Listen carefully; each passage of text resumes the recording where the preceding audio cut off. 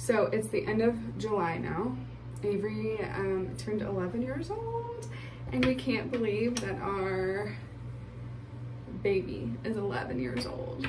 It's just crazy how fast time flies by and um, Addie is going to be turning 8 here in August, the beginning of August. So that's exciting. She's really excited. Um, so everything's pretty much opened up around here. Our governor just announced today that kids over the age of 10 are required to wear masks in any um, public location. I'm assuming that means like parks as well. Um, I have yet to read the details. I just got the notification on my phone a minute ago. So, um, let me know. Have you guys been taking your kids out of places? Because we haven't. Um, they've gone to very few stores. So I've taken them into Home Depot maybe two times since March. And that was mostly in the garden center. So it was outside. And then, let me think. I don't think we haven't been out to eat or anything. Um, but we don't take them anywhere. And I've taken them actually to the public pool. We have an awesome public pool in the corner. And I've taken them there, but now they are requiring reservations because there's like a max of 100 people allowed in there. And so at the beginning of the summer, we were able to make a reservation like the day before. And now it's booked out like two weeks in advance. And then you have to pay online before you actually go. And it's a little crazy because like today was supposed to be like 93 degrees out and it's still warm right now, but it's literally been cloudy and rainy and it's just not outdoor pool um, weather because they keep the pool pretty cold. Um, so yeah, I'm doing good. I think I had some postpartum depression that I was suffering with, which is why you guys haven't heard from me in quite some time.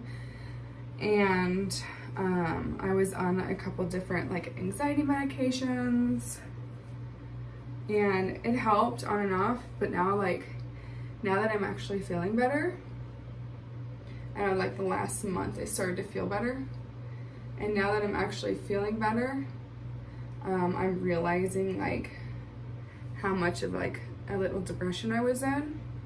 And so I don't know if it, I'm pretty sure it was postpartum depression and I didn't even realize like I was in the middle of it until like now.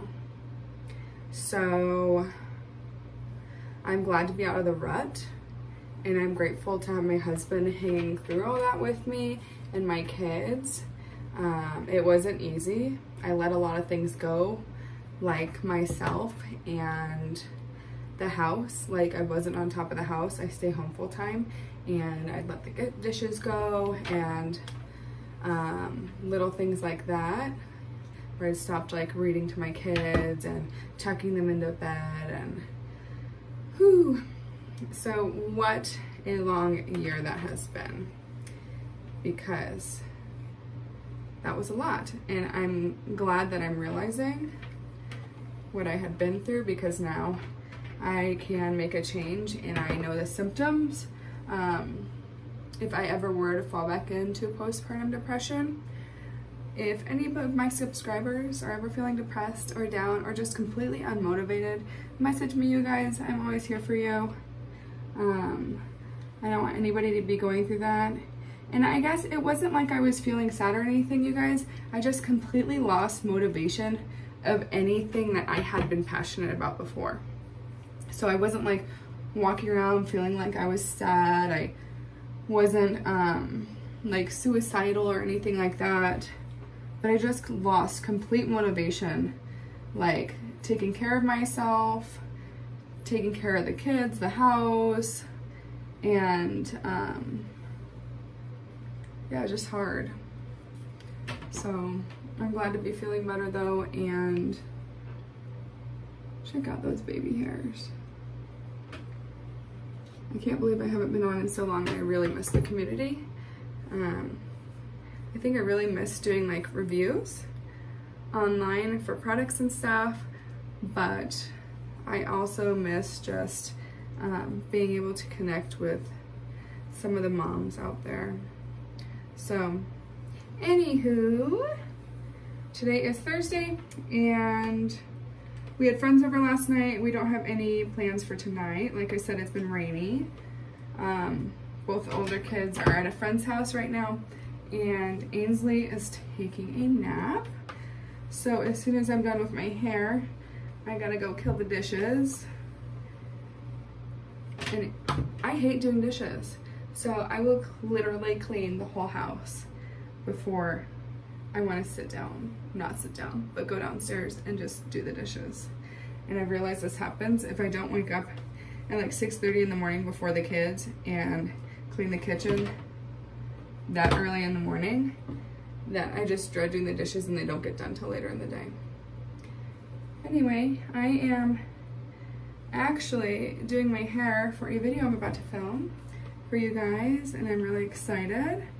It's a big life change and um, hopefully it'll be up here in the next month or so, so keep an eye out for that. Maybe just a few more weeks, I haven't decided yet. But it's a big life change, it's, it's exciting. And if you haven't yet, follow me on Instagram because I do upload there quite often. And so yeah, so I look forward to getting back into things with you guys. And I can't wait to show you my new video. See you later. Bye.